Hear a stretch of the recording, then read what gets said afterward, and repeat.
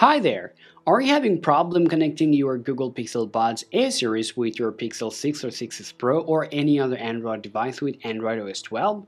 If yes, no more worries, because today I'll show you how you can troubleshoot your Google Pixel Buds. Now before we talk further, here is what you need to do. Now please ensure that your Google Pixel Buds have enough charge and should turn on the Bluetooth in order to connect with your Pixel device. Well, the next thing you have to keep in mind is disconnect your Google Pixel Buds from other device. At the same time, make sure that your device is nearby.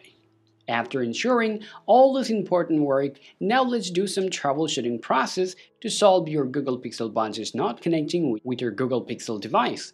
To do the advanced troubleshooting process, the first work you want to do, delete or forget your Pixel Buds and restart your device.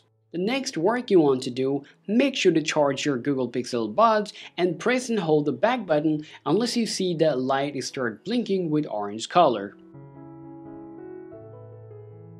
Hope all the troubleshooting process will help you to solve your problem. If you still have the problem, be sure to drop a comment to get further help.